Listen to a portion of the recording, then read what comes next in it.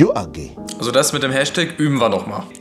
So, und damit herzlich willkommen zum ersten Video dieser Art, FAQ eure Fragen, meine Antworten oder wie immer ihr es auch nennen wollt. Ich bedanke mich erstmal bei euch ähm, für die ganzen Fragen, die ihr mir gestellt habt in dem Community-Tab. Zwar ohne den Hashtag, aber das kriegt ihr jetzt bei den nächsten Folgen hin. Schreibt einfach eure Fragen für die nächste Ausgabe schon mal unten in die Kommentare rein mit dem Hashtag Frag Stefan und dann ja, bin ich sehr gespannt. Äh, wir gehen so gerade mal chronologisch durch und ähm, dann schauen wir mal, was ich hierzu sagen kann. Also die erste Frage kommt von Julia.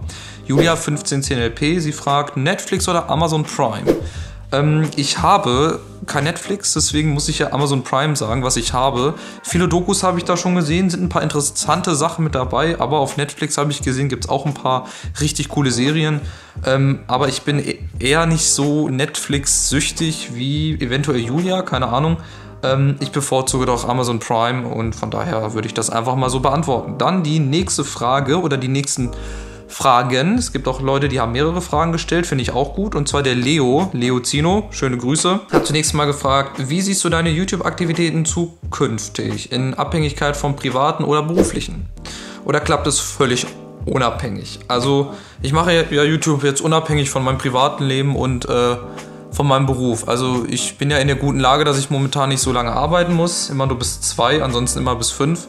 Heißt also, ich habe da auch ähm, mehr Zeit jetzt für YouTube und bin natürlich immer wieder am Überlegen, was könnte man machen, was könnte man auch nicht machen. Mache ich das, was ich mache, richtig? Aber da gebt ihr mir wieder Feedback und deswegen macht das auch weiterhin. Aber es klappt ganz unabhängig von meiner Arbeit und von meinem Privaten. Also das dazu. Dann ähm, hat er noch gefragt, hast du noch weitere Ziele bei deinen Stadionbesuchen? Ich glaube, er spielt darauf an, ob ich noch irgendwelche Stadien, die ich noch nicht besucht habe, besuchen möchte. Also so verstehe ich die Frage. Ich war ja schon in ganz vielen Stadien. Berlin, Hamburg, äh, Wolfsburg des Öfteren, Hannover, München, ähm, Frankfurt natürlich auch in Köln in dem Stadion war ich. Ich würde gerne mal noch ins äh, Dortmunder Stadion gehen, in den Signal Iduna Park. Das ist, glaube ich, so ein Stadion schon alleine, um die gelbe Wand mal zu sehen, wenn irgendwann wieder Zuschauer erlaubt sind. Das wäre, glaube ich, relativ cool. Ähm, und ansonsten, ja, Barcelona ist nochmal so ein Traum, so ins äh, Camp Nou. In London war ich ja schon, Wembley Stadion, im Stadion von Arsenal, von Chelsea. Das ist schon sehr beeindruckend. Im Fernsehen sieht es ja schon immer so groß aus, aber wenn man dann mal wirklich live da im Stadion ist, das ist dann schon nochmal eine Ecke größer. Dann hat er noch gefragt, wie sehr achtest du auf deine Ernährung? Auch eine sehr interessante Frage. Da ich ja Fußballer bin und Sport treibe und jetzt auch momentan Übungen für meinen Rücken mache, ähm, das mal nebenbei. Ja, klar, also ist natürlich auch mal was Süßes mit dabei, gar keine Frage, das muss man sich dann auch mal gönnen. Aber im Prinzip halt achte ich schon darauf, dass ich so viel Fleisch esse, Fisch, Obst, Gemüse. Sieht man ja, glaube ich, auch hier an mir. Ich bin jetzt nicht unbedingt der Rainer Kallmund-Fanboy, sage ich mal. Ich bin eher so ein Spargeltarzan. Ich habe einfach einen guten Stoffwechsel, glaube ich. Das sagen mir auch immer viele Leute. Ich habe einen guten Stoffwechsel. Und deswegen sehe ich halt so aus, wie ich aussehe. Ist, wie es ist. Und die letzte Frage vom Leo. Wirst du mit Levin mal ein Rennen in Formel 1 aufnehmen? Das ist auch eine interessante Frage. Lustigerweise habe ich mich zum Stand der Aufnahme vor weniger als 10 Minuten mit dem Levin darüber unterhalten. Wir haben sowas vor. Auf jeden Fall. Ich möchte das dann auch öfter in Livestreams spielen, mit euch dann zusammen. Also online. Ähm, und wir haben da auf jeden Fall schon mal was ausgemacht und da kann sich Leo drauf freuen und auch die anderen, die sich mit F1 2020 geben wollen. Es wird sowohl eine F1 2020 Karriere bei mir wieder geben und natürlich auch mal häufig äh, mit anderen zusammen, mal Koop oder online. Das auf jeden Fall. So, danke an den Leo. Dann die nächsten Fragen kommen vom Eddie Erdbeer Gaming. Das freut mich auf jeden Fall. Und zwar fragt er zunächst, denkst du nicht, dass du jetzt, wo man nur die Aufrufe sieht, noch kleiner wirkst? Ähm, das ist immer so Ansichtssache. Also klar, die Zuschauer sehen ja jetzt nicht mehr, wie viele Abos man hat. Klar, wenn die jetzt nur noch die Zuschauerzahlen sehen, könnte man meinen, dass das auch einen negativen Einfluss hat. Aber ich finde, das muss immer jeder selber bewerten, ähm, ob er die, gute, die Videos gut findet oder nicht. Und wenn er so gut findet, dann soll er die natürlich auch dementsprechend bewerten. Und wenn es einem dann so gut gefällt, dass man dranbleibt, dann glaube ich, hat jeder so einen gesunden Menschenverstand, um dann zu sagen, hey, dem lasse ich mal ein Abo da. Und deswegen sehe ich das eigentlich nicht so, dass ich jetzt noch kleiner wirke, als ich jetzt schon bin. Dann äh, das coolste Bundesliga-Stadion, natürlich Eintracht Frankfurt. Als Eintracht Frankfurt-Fan muss ich natürlich die Commerzbank Arena sagen.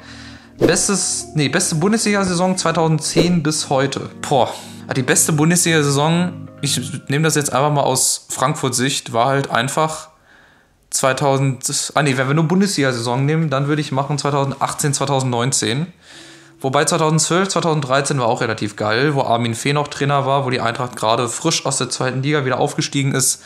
Also ich würde diese beiden Saisons nehmen, 2012, 2013 und 2018, 2019, wenn wir jetzt mal nur von der Bundesliga ausgehen. Wenn wir von der gesamten Saison ausgehen, dann natürlich 2017, 2018 mit dem DFB-Pokalsiegern am Ende.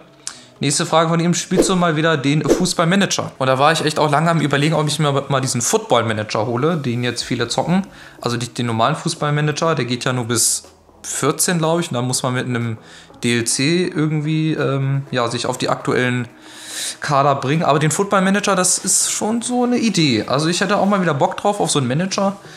Aber ich habe dann wieder zu viele Sachen im Kopf. Bei mir ist das immer das Problem, ich habe zu viele Sachen im Kopf und dann will ich 30 Projekte auf einmal machen und dann verfalle ich wieder in alte Zeiten. Das ähm, möchte ich eigentlich nicht. So, nächste Frage. Ähm, kennst du Kyles Moore oder Kieles Moore? Muss ich leider verneinen, den kenne ich leider nicht. Und seine letzte Frage: Würdest du ins Weltall fliegen, wenn du die Möglichkeit hättest? Boah, also interessant wäre schon mal, so die Erde von oben zu sehen. Ich sehe ja manchmal, wenn Leute ähm, oder wenn Astronauten in die Luft fliegen, das hat schon irgendwie was, ne? Ist schon ein bisschen geil. Aber ich würde es, glaube ich, nicht machen. Ich glaube, ich bleibe lieber mit beiden Beinen oder mit den beiden Füßen auf dem Boden, auf der Erde, sage ich mal. Deswegen werde ich auch in naher Zukunft nicht in Flugzeug steigen. Ich habe da so meine Erlebnisse und äh, deswegen glaube ich eher nicht, dass ich die Möglichkeit annehmen werde. Schöner Voice Crack auf jeden Fall, mal ganz nebenbei gesagt. Dann der Levin gerade noch gesagt, gerade noch den Kopf angehauen. Dann der Levin mit einer Frage Döner oder Pizza. Was magst du mehr? Ah, eigentlich beides. Aber wenn ich mich wirklich entscheiden müsste, Levin, das ist eine blöde Frage. Das ist echt eine blöde Frage. Ich würde dann eher, glaube ich, die Pizza nehmen. Aber Döner boah, schmeckt halt auch geil. Mann, das ist eine doofe Frage. Ich würde aber trotzdem die Pizza nehmen. Bin ich, glaube ich, der Meinung. Die Pizza ist einfach geil. Mehr kann ich dazu nicht sagen. Und die letzte Frage kommt vom Jamie und zwar, also Gson mit seinem Kanal.